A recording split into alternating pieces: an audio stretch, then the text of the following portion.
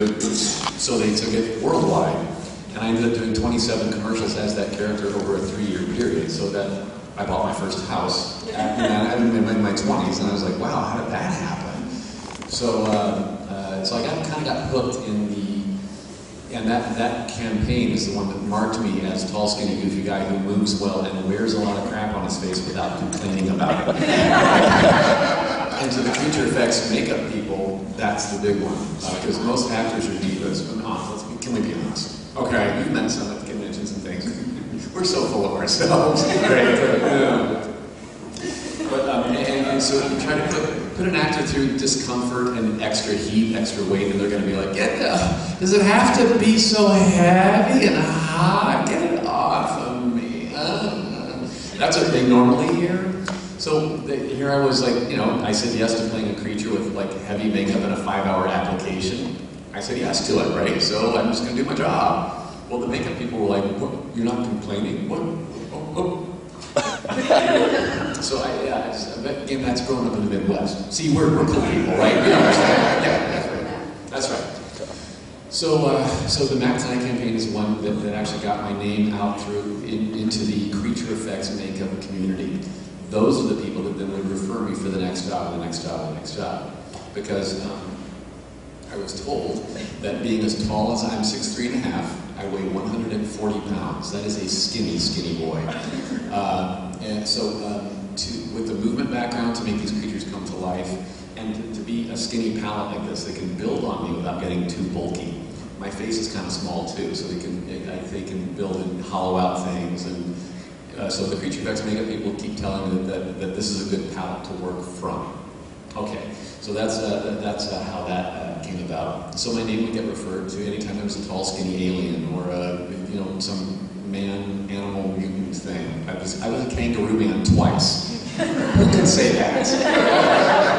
Anybody know what movies? Anybody? Anybody? Oh yes. Tank Girl. Tank Girl was one of them. Anybody else? The other one's a, it's a, it's a, a tougher one. The other one was Warriors of Virtue. Anybody? Yeah, yeah, yeah.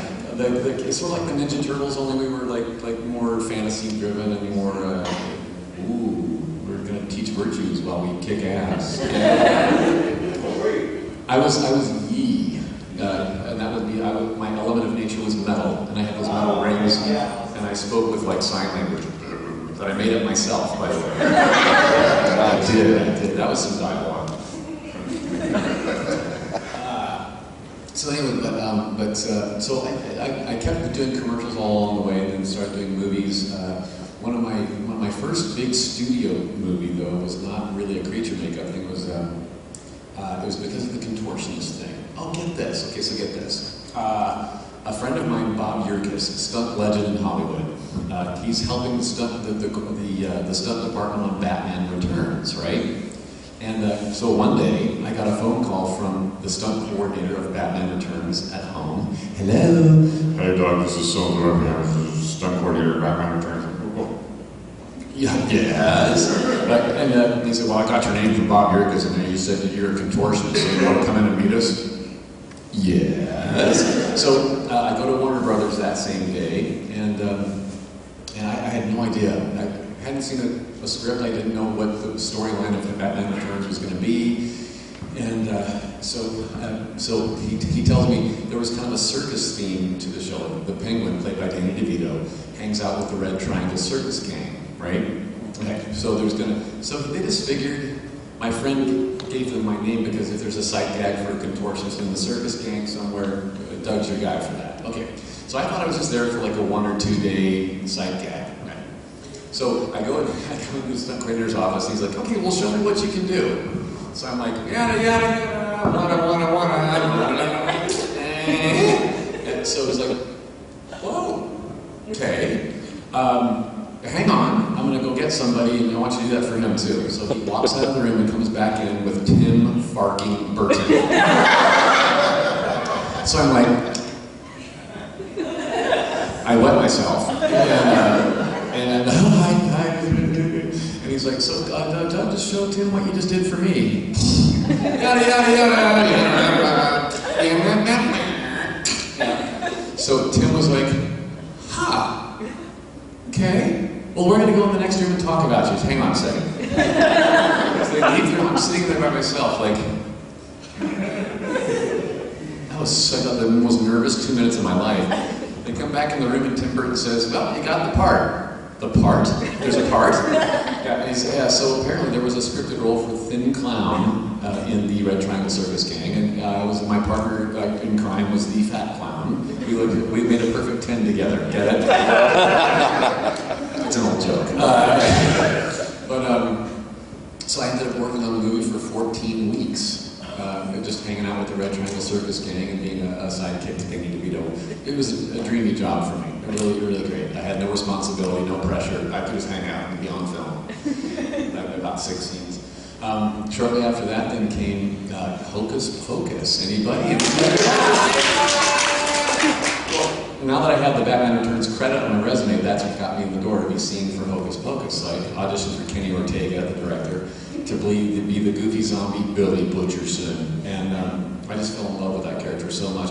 That's before zombies were cool, by the way. okay, okay. I was the first.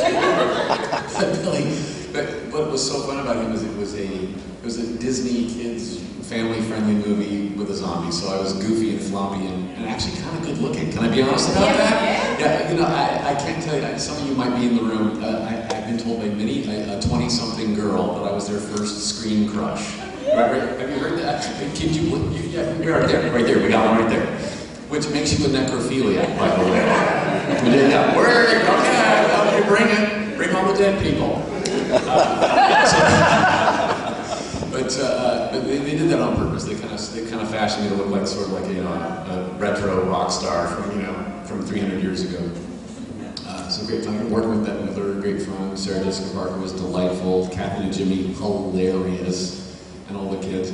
We had our, our 20th uh, year anniversary last last fall, uh, and seeing the kids growing up in their 30s now was like, yeah, it's, it's jarring.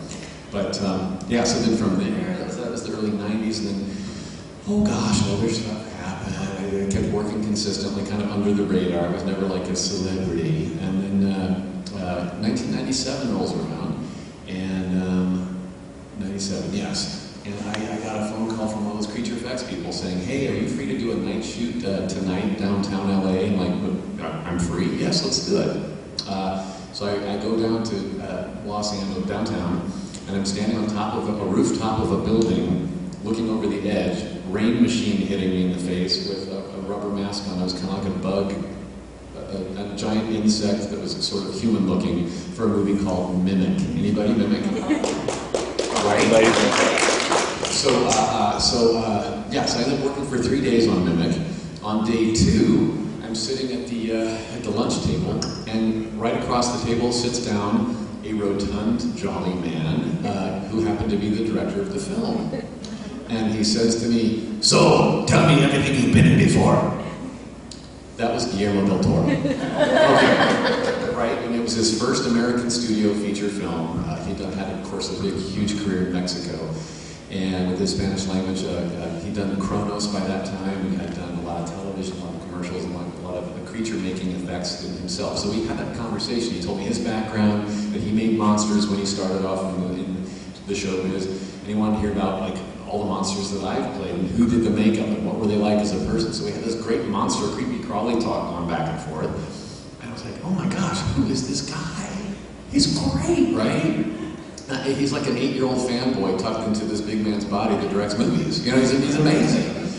Uh, so at the end of our conversation, he said, "So, do you have a card on you?" So I happened to have these business cards with my face drawn on them. That was it was me like a side shot. I did it myself, the drawing and my phone number was somewhere around the mouth. so, uh, uh, well, that's my card. He goes, oh, that's great.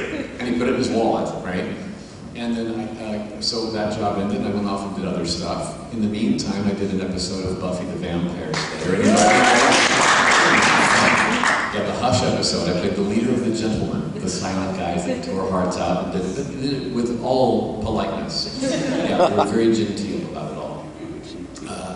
Oh, only had to collect seven of them or five of them. What was it, five? I can, who knows? Who knows the lore? I don't remember. Uh, was it five? It was seven. Was it seven? We only got it. We only got to. Yeah, we didn't get all seven. Yeah, yeah. Whew, I'm glad someone knows. Um, so, uh, uh, yeah, so it was like, uh, in 2000, uh, more job, like, I was getting under the radar for a while, da, no, nobody, uh, 2002 rolls around. It's the fall of 02. I get another phone call going, hey Doug, I got a director here who says he's known you and works with you, and, uh, and we're doing a movie, so there's a character for you if you want to meet with us tomorrow. Yeah, sure, I'm happy to. What had happened earlier that day was that the creature effects makeup people had done a maquette. Now, a maquette, of course, is a scaled down version of what a character is going to look like. It's a sculpture, so you get a 3D uh, design of what a character is supposed to look like.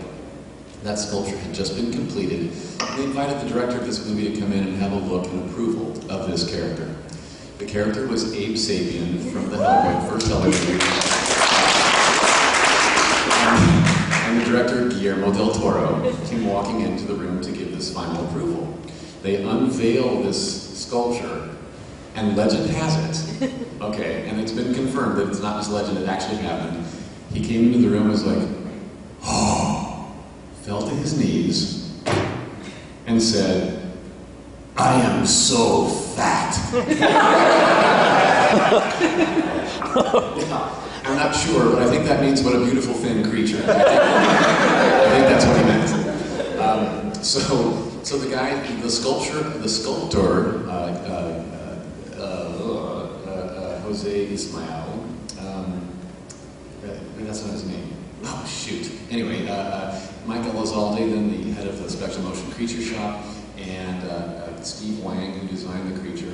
Um, Jose Fernandez, that's his name, sculptor.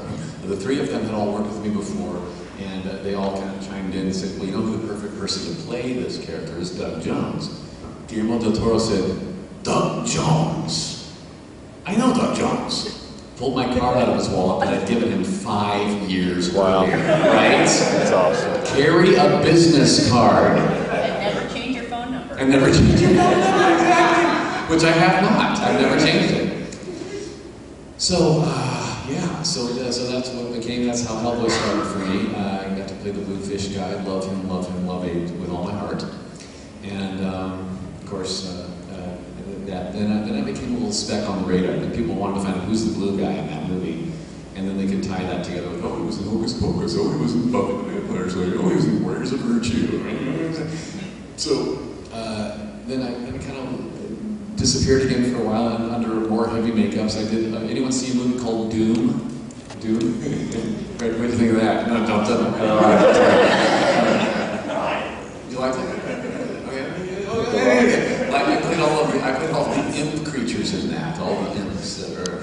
And that means I died five times in that movie. so if you hate me after today, just watch Doom and you'll get all your droppings. I'm dying again. so, uh, so, uh,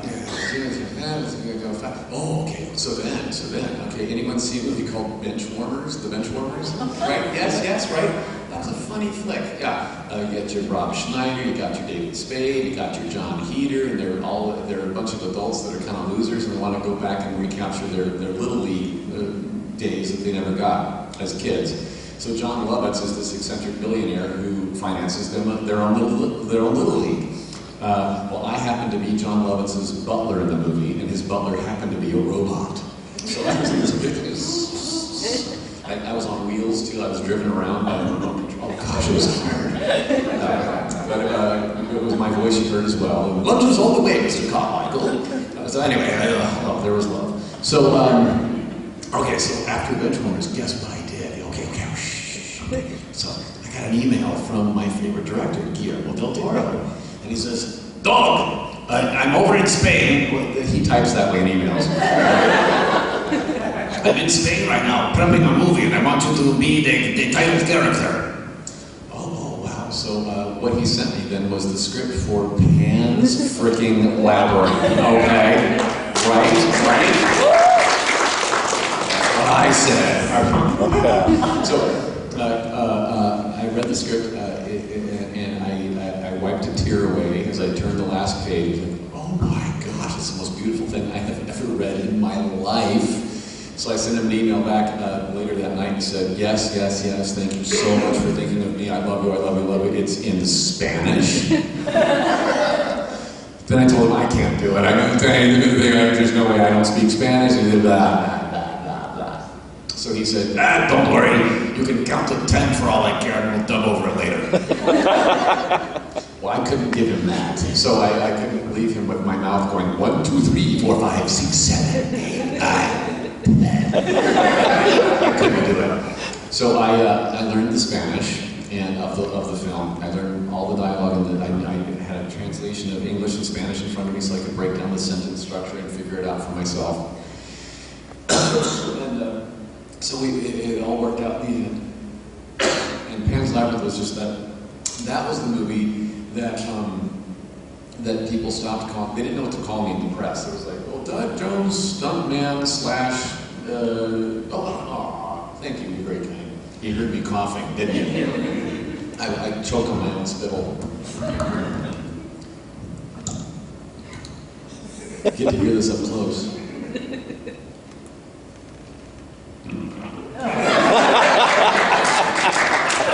No one else is going to do that in the panel today. Nope. It's just for us. Uh, so, I'm not right in the head. In the right place. Oh, but, but okay, good. Uh, so, where were we? I got sidetracked. Pan's Labyrinth, sentence Oh, structure. right, yeah, right. So, uh, nobody knew what to call me, that was it. Uh, um, managers, studio producers, and the press never knew what to call me. Like, uh, creature guy, mime, Doug Jones, stunt guy. And I know a lot of stuntmen, and I don't want to sully their reputation by me being called a stunt guy. They're too good for that. So, uh, so Pan's Labyrinth was a movie where um, I was finally being called an actor, and I was finally being called a movie star. And uh, because I was the only American actor in that film, it was all Spanish, and it all filmed in Spain, and all the, all the cast were all from Spain.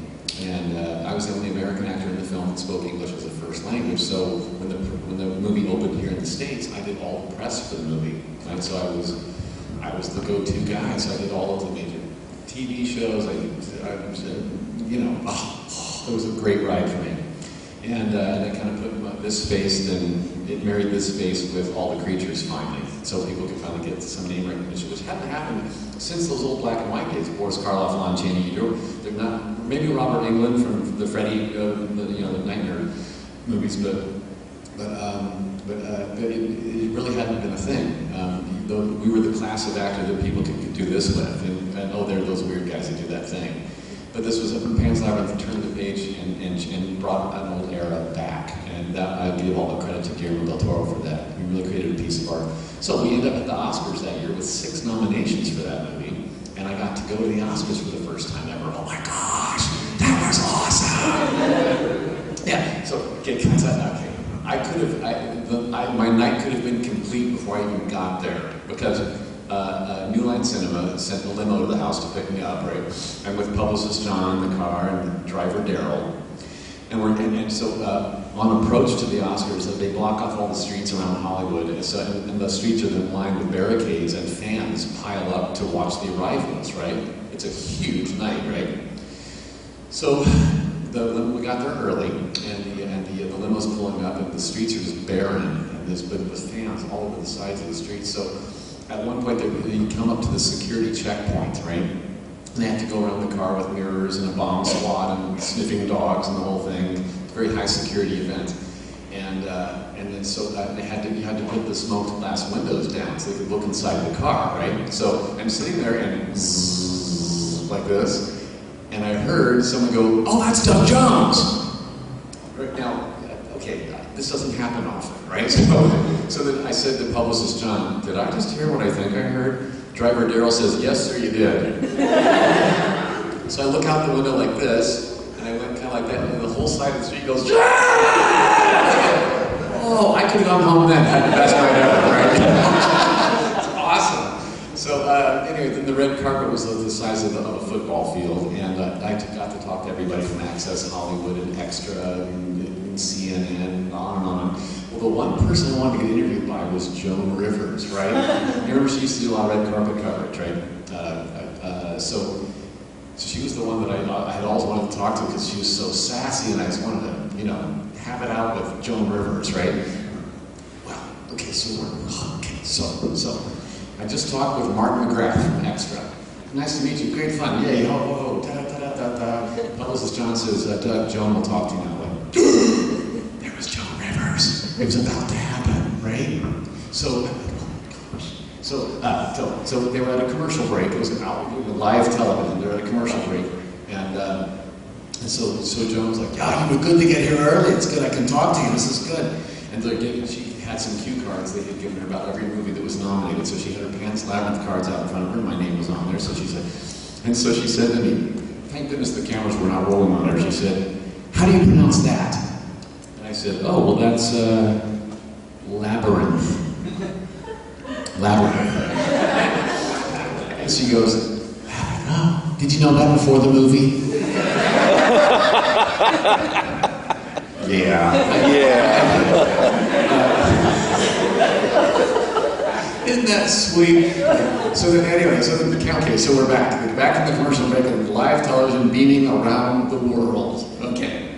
And uh, she's like, so we have Doug Jones in her pants labyrinth, and she was talking about like the, what, you know, the, the, an artistic movie of the year this was, da da da da. And you know, so I answer all the questions about like what makes it such a great film and why is it so ooh, yeah. So I got all that down, and then she had an earpiece in, and her producers from somewhere else were talking, feeding her questions, so you could see her eyes glaze over, like. Oh, so then she said, so then she said, okay, so uh, you wear a lot of makeup, and you know, do you ever have any uh, bad reactions, like allergies, anything, all that much layers? Um, oh no, uh, thankfully I have no allergic reactions or problems with, you know, latex, foam rubber, and adhesives and removers and silicone products. When I said the word silicone, I was looking at this face just full of it, right? So I said, well, you know what I mean.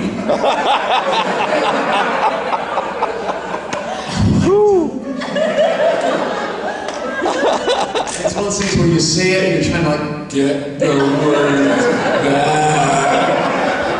What an ass. I've given all my life to talk to Joan Rivers and I insult her. Anyway, so Pan's Labyrinth was a great but she, she took it very good humor. She said, oh, it's too late for me, honey. So it's good.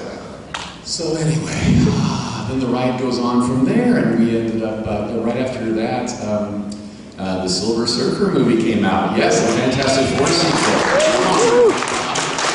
That was, um, and that was the same creature effects shop, Spectral Motion, that did my makeup for the Hellboy movies.